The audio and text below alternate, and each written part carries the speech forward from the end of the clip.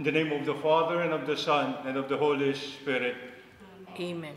The grace of our Lord Jesus Christ, and the love of God, and the communion of the Holy Spirit be with you all. And with your spirit. Good evening, sisters and brothers, Good evening, Father. and welcome to this Eucharistic celebration. Brethren, let us acknowledge our sins and so prepare ourselves to celebrate the sacred mysteries.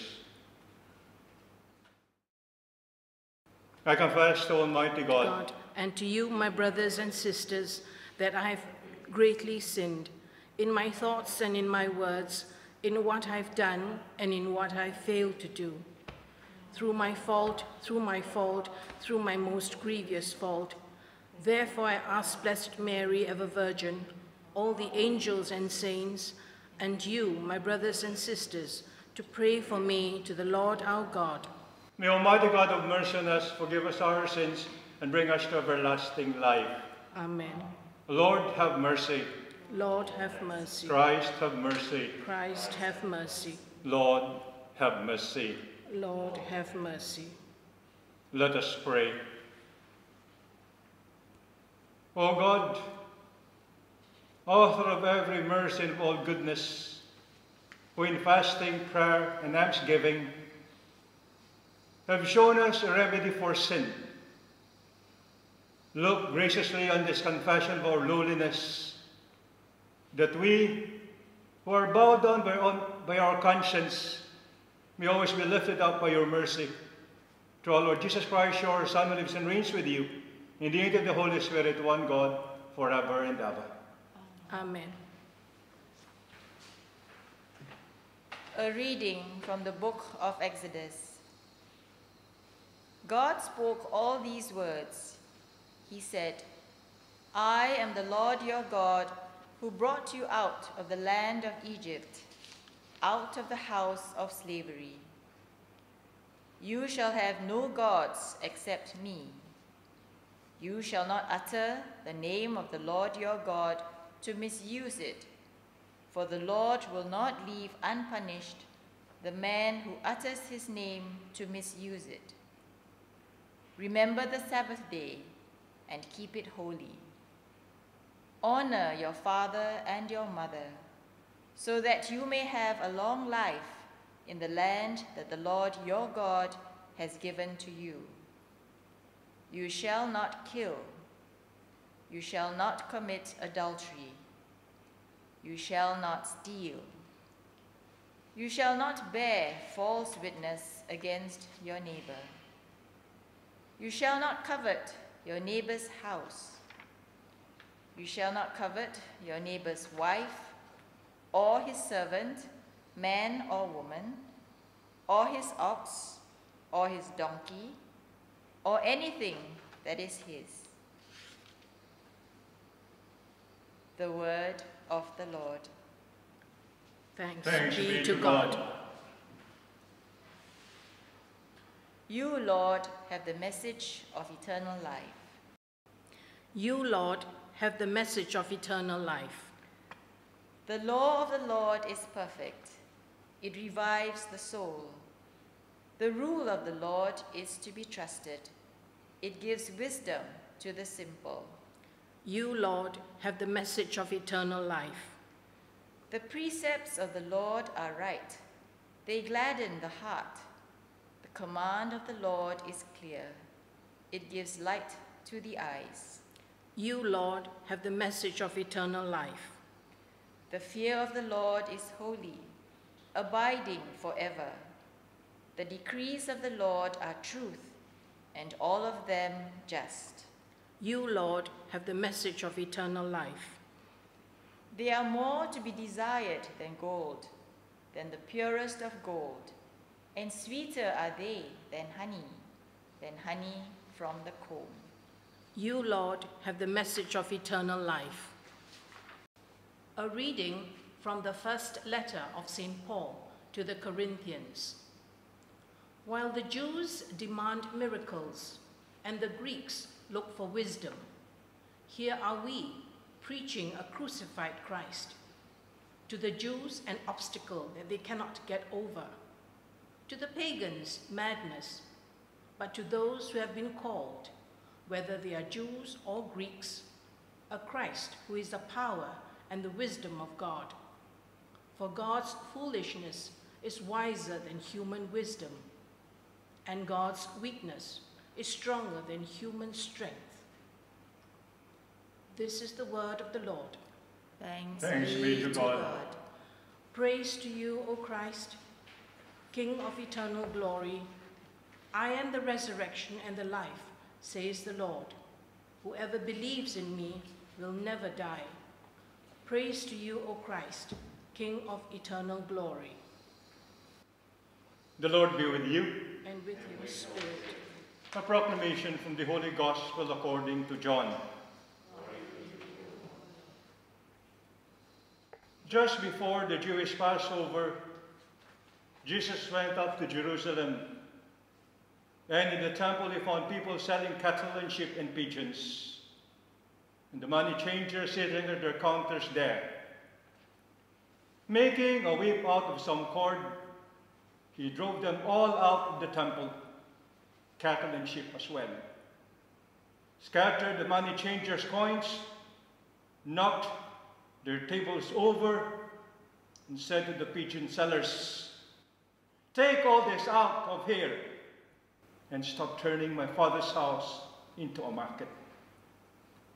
Then his disciples remembered the words of Scripture Zeal for your house will devour me.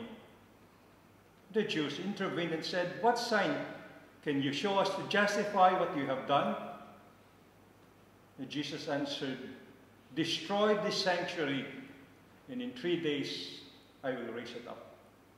The just replied, It has taken 46 years to build this sanctuary. Are you going to raise it up in three days? But he was speaking of the sanctuary that was his body. And when Jesus rose from the dead, his disciples remembered that he had said this, and they believed the scripture and the words he had said. During his stay in Jerusalem for the Passover, many believed in his name when they saw the signs that he gave. But Jesus knew them all and did not trust himself to them. He never needed evidence about any man. He could tell what a man had in him. The Gospel of the Lord. Praise to you, Lord Jesus Christ. Good evening, sisters and brothers. Does anybody ever get angry? I know you get mad. Parents, have you ever had one of those moments when you've had a conversation with your child and you just want to scream, to shout? There have been times when you've been so mad that you did shout. So what makes you angry? What makes you sad? Mad, I mean. Today we see a surprising story in John's Gospel where Jesus gets really angry to the point where he starts overthrowing tables and driving people out of the temple with a whip. The Gospel of John is unique in, in that he has Jesus moving back and forth between Galilee and Jerusalem throughout the entire Gospel. And we have to take these stories in pairs and contrast them. Early in the Gospel of John, we saw Jesus at the wedding in Cana, where we saw the first sign of the kingdom of God, turning water into wine. A glimpse of what God is all about in the world. There we saw that God is about abundance. In today's gospel, Jesus gets mad. Did this story surprise you a little bit? We often imagine Jesus as one who doesn't snap at people in a fit of rage. We don't think of him as a God being angry. We like the God at the wedding feast in Cana who gives us the really good wine in abundance. We like the God of grace and love and forgiveness. The church throughout history has tended to swing to one extreme or the other regarding God. The fact is, however, that if you look up anger or wrath in the Bible, it is often more associated with God. And it, it occurs quite often. God gets mad a lot, and that can scare us. So God is both sides of this equation. That's because God is the loving parent who wants the best for his children. And a good parent, we know, sets up boundaries to protect the children. When the children disobey and do the things that the parent knows will harm them, the parent becomes angry. Anger is what psychologists call a secondary emotion. It is like physical pain. Pain is a good thing because it alerts us to the fact there is an injury or that something is not right in our body. So anger is like this. When we become angry, it is a sign that something has been violated. It is a proximity sensor, or maybe in our time, the TraceTogether apps to alert us that we have been places where an infected person has been. But getting angry isn't bad. It's what you do with anger that makes it wrong. St. Paul said in Ephesians, be angry and do not sin. So one thing that gets most of us angry is when we are violated. Most of the time when we get mad, it is because people have violated my sense of what defines me in my pride and ego. Maybe you tease me, or publicly ridicule me, or attack my reputation. Sirens blare, intruder, intruder. And my anger is a signal that my pride and ego has been hurt.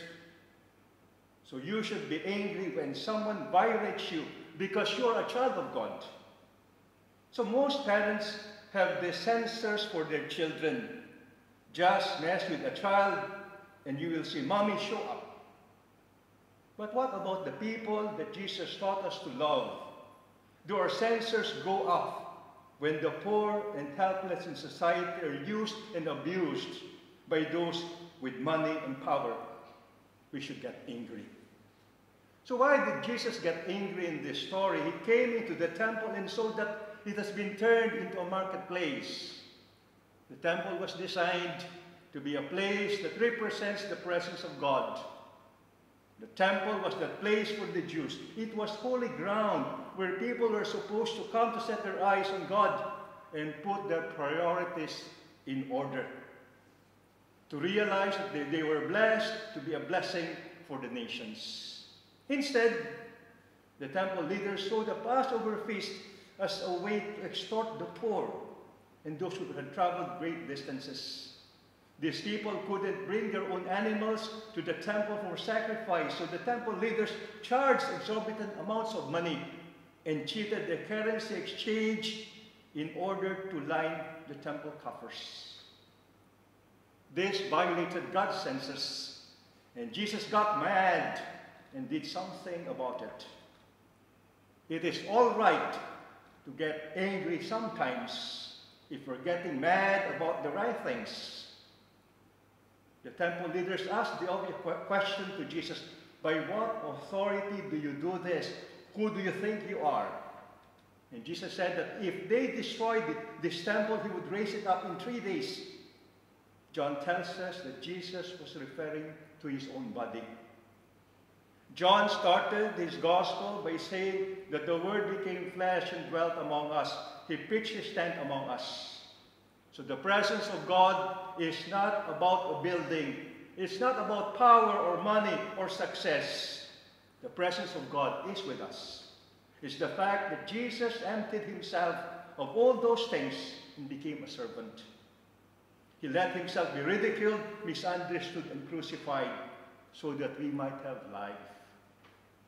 As the church, the body of Christ, we are called to love the world the way God loves the world. We are called to love the things that God loves and get, to get angry or mad when people hurt and abuse the weak and the poor and the outcast. So as we continue our Lenten journey, let us follow God's commandment of love, especially caring for the least of our brothers and sisters. With blessed rage, we now profess our faith. I believe in God, The Father Almighty, creator of heaven and earth, and in Jesus Christ, the only Son, our Lord, who was conceived by the Holy Spirit, born of the Virgin Mary, suffered under Pontius Pilate, was crucified, died, and was buried. He descended to the dead. On the third day he rose again from the dead. He ascended into heaven and is seated at the right hand of God, the Father Almighty. From there he'll come to judge the living and the dead.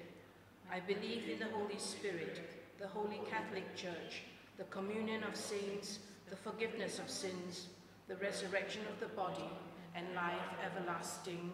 Amen. As we reflect on the story of Christ's wrath in the temple, it is a reminder to each one of us, especially at this time of Lent, to examine our conscience and cleanse our lives of vices and sin by prayer, fasting, and works of charity, so as to be worthy of His unconditional and self-sacrificing love for us. With grateful hearts, we pray. For the Church, that God will guide and protect all priests who bring the love of Christ through the sacraments to the faithful. We pray to the Lord. God ever faithful, God ever merciful, God of your people, hear our prayer. for world leaders that they will work together effectively to bring to find a peaceful and non-violent end to the crisis and civil unrest in Myanmar and also to help poorer nations to get access to the COVID vaccines. We pray to the Lord. God ever faithful, God ever merciful, God of your people, hear our prayer. For those who are suffering, that they will be strengthened spiritually by the sacraments and the word of God. We pray to the Lord. God ever faithful, God ever merciful, God of your people, hear our prayer. For our faith community, that we will be sincere in worshiping God and showing care and love for the people He has placed in our lives. We pray to the Lord. God ever faithful, God ever merciful, God of your people, hear our prayer. We pray for our own intentions.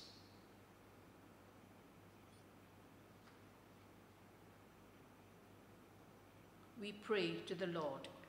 God ever faithful, God ever merciful, God of your people, hear our prayer. Almighty God, we thank you for your merciful love. During this time of Lent, may all of us repent, change our sinful ways, and deepen our relationship with you. We ask this through Christ our Lord. Amen. Blessed are you, Lord God of all creation, for to your goodness we have received the bread we offer you. Fruit of the earth and work of human hands have become for us the bread of life. Blessed be God forever. Blessed are you, Lord God of all creation, for to your goodness we have received the wine we offer you. Fruit of the vine work of human hands become our spiritual drink. Blessed be God forever. Pray, brethren, that my sacrifice and yours may be acceptable to God, the Almighty Father. May the Lord accept the sacrifice at your hands for the praise and glory of his name, for our good and the good of all his holy church. Be pleased, O Lord, with these sacrificial offerings, and grant that we who beseech pardon from our own sins may take care to forgive our neighbor to Christ our Lord. Amen. The Lord be with you. And with your spirit, Lift up your hearts. we lift them up to the Lord. Let us give thanks to the Lord our God. It is right and just. It is truly right and just, our duty in our salvation, always and everywhere to give you thanks. Lord, Holy Father, Almighty and Eternal God, for you have given your children a sacred time for the renewing and purifying of their hearts, that freed from disordered affections, they may so deal with the things of this passing world as to hold rather to the things that eternally endure. And so with all the angels and saints, we praise you without end, we acclaim, Holy, Holy, holy Lord, God of power and might, heaven and earth are full of your glory. Hosanna in the highest. Blessed is he who comes in the name of the Lord. Hosanna in the highest. You're holy, o, you're indeed holy, O Lord, the fount of all holiness. Make holy therefore this gifts we pray, by sending down your Spirit upon them like the dew fall, so that they may become for us the body and blood of our Lord Jesus Christ. At the time he was betrayed and entered willingly in this passion took bread, giving thanks, broke it and gave it to his disciples, saying, Take this, all of you, and eat of it, for this is my body, which will be given up for you.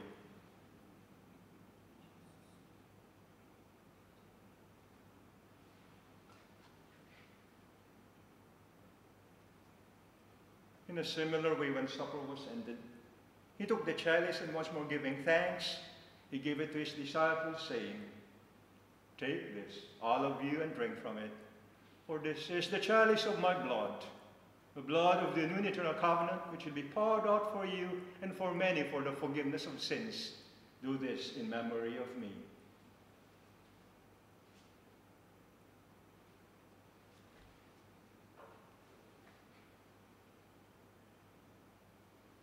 The mystery of faith. We proclaim your death, O Lord, and profess your resurrection until you come again. Therefore, as we celebrate the memory of his death and resurrection, we offer you, Lord, the bread of life and the chalice of salvation, giving thanks that you are with us worthy to be in your presence and minister to you. Humbly we pray that partaking of the body and blood of Christ, we may be gathered into one by the Holy Spirit. Remember, Lord, your church spread throughout the world and bring her to the fullness of charity, with Francis our Pope and William our Bishop and all the clergy. Remember also our brothers and sisters who have fallen asleep in the hope of the resurrection, and all who have died in your mercy. Welcome them into the light of your face. Have mercy on us all, we pray, with the Blessed Virgin Mary, Mother of God, with Blessed Joseph, her spouse, with the blessed apostles, and all the saints who have pleased you throughout the ages. We may merit to be co-heirs to eternal life, and may praise and glorify you through your Son, Jesus Christ. Through him, and with him, and in him. O God, Almighty Father, in the unity of the Holy Spirit, all glory and honor is yours forever and ever. Amen. At the Savior's command and formed by divine teaching, we dare to say, Our Father, who art in heaven, hallowed be thy name. Thy kingdom come, thy will be done on earth as it is in heaven. Give us today our daily bread. Forgive us our sins, as we forgive those who trespass against us. and lead And us lead not. us not into temptation, but deliver us from evil. Deliver us, Lord, we pray, from every evil. Graciously grant peace in our days, that by the help of your mercy, we may be always free from sin and safe from all distress, as we await the blessed hope in the coming of our Savior, Jesus Christ. For the kingdom, the power, and the glory are yours, now and forever. Lord Jesus Christ, said to your apostles, Peace I leave you, my peace I give you. Look not on our sins, but at the faith of your church, and graciously grant her peace, and union in course with your will, who live and reign forever and ever. Amen. The peace of the Lord be with you always. And with your spirit. Let us offer each other the sign of peace.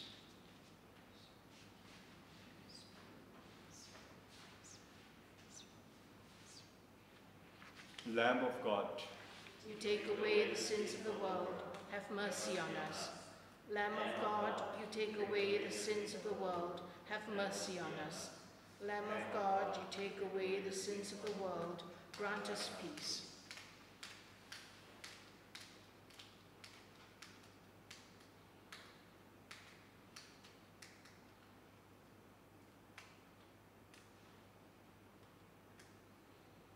Behold Jesus, the bread of life. Behold the Lamb of God.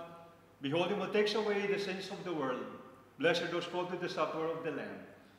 Lord, I'm not worthy that you should enter under my roof, but only say the word, and my soul shall be healed.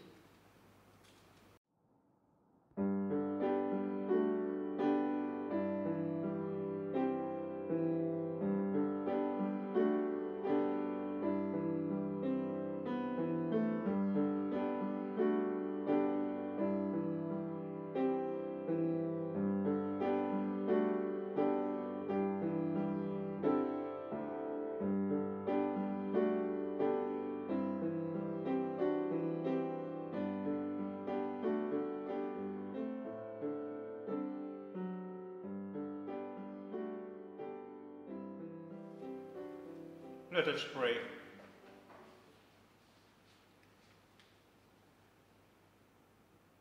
As we receive the pledge of things yet hidden in heaven and are nourished while still on earth with the bread that comes from on high, we humbly entreat you, O Lord, that what is being brought about in us in the mystery may come to true completion through Christ our Lord.